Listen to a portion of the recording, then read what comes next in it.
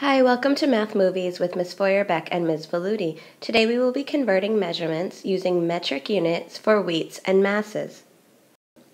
There's actually only one conversion we'll be using in today's lesson. That is 1 kilogram equals 1,000 grams. Because uh, the metric system uses the powers of 10, we're going to be using the powers of 10 when we do some multiplication and division today. There are two rules that you need to remember, just like all the other conversion lessons that you've watched. When converting a larger unit of weight to a smaller unit of weight, you should multiply. When you're converting a smaller unit of weight to a larger unit of weight, you should divide. Let's try some of these out. So let's get started. 2 kilograms equals some number of grams. Well, I know that kilograms are larger compared to grams and that there are actually 1,000 grams that make up a kilogram. So what I'm going to do here is I'm going to set this up. I know that when I go from a larger unit to a smaller unit, I'll need to multiply. And in this case, I multiply by 1,000. Well, I know that 2 times 1,000 is simply 2,000. So I'm going to put that down here. Let's use the first problem to help us solve problem 2. 2.5 kilograms equals some number of grams. Well, once again, it's the same exact thing. I need to multiply by 1,000. But maybe you're not sure how to multiply 2.5 or 2.5 times 1,000. So let's talk about two ways to do that. The way you might have learned before is that you could do 2 times 1,000, and that gets you 2,000. And you could do 0.5 times 1,000. And we know that 0.5 is the same thing as 1 half, and 1 half groups of 1,000 is 500. And when you add that up, you get 2,500 or 2,500 grams. Now, a faster way to do it is to think about the powers of 10. So here I'm going to write down 2.5 I know that 1,000 is the same thing as 10 times 10 times 10. Three groups of 10.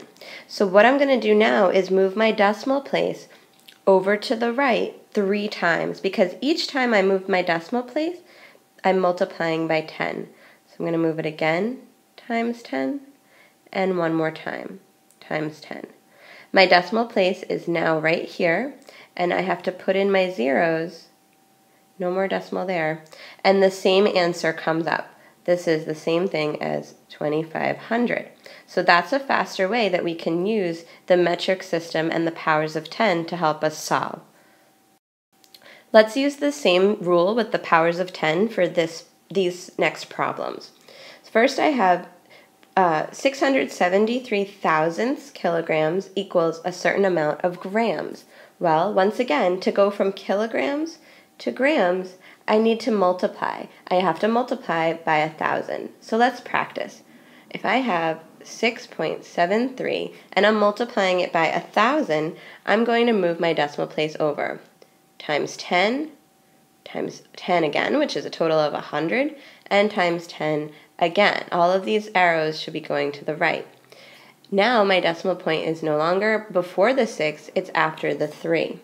So that means 673 thousandths kilograms equals 673 grams. The next problem is 7,800 grams equals some number of kilograms. Well, in this case, going from grams to kilograms, I'm going from a smaller unit to a larger unit. So I'm actually going to need to divide this time by a 1,000. It works in a very similar way. So I'm going to write down 7,800. I know my decimal point is over here on the right, so this time to divide by a 1,000, I'm going to go to the left. So I'm going to move my decimal place, divide it by 10, divide by another 10, and divide by another 10. Dividing by 10 three times is the same thing as dividing by a 1,000. So I have my decimal place, and now I can write it as 7 and 8 tenths kilograms. Lastly, 5.6 grams equals some number of kilograms. Well, again, it's the same as the one we just did where I'm going from grams to kilograms. So I'm going to divide by 1,000. This one's a little bit different though because my decimal um, point is in the middle of the problem. So let's try this. I have 5.6 and I need to divide by 1,000. So I'm going to start with my decimal place. I'm going to go over to the left, bring it to the left, which is dividing by 10 to the left again, which is dividing by another group of 10, and to the left for a third time, which is dividing by 10 again, and that's a total of dividing by 1,000. So no longer is my decimal point there, it's actually here. Now, in order to show the place value, I need to put in two zeros. And that's going to help to show the, the exact answer. So 5.6 grams is the same thing as 56 ten thousandths kilograms. I hope you learned a lot about using the powers of 10 when you're working with weights and masses in the metric units. Thank you.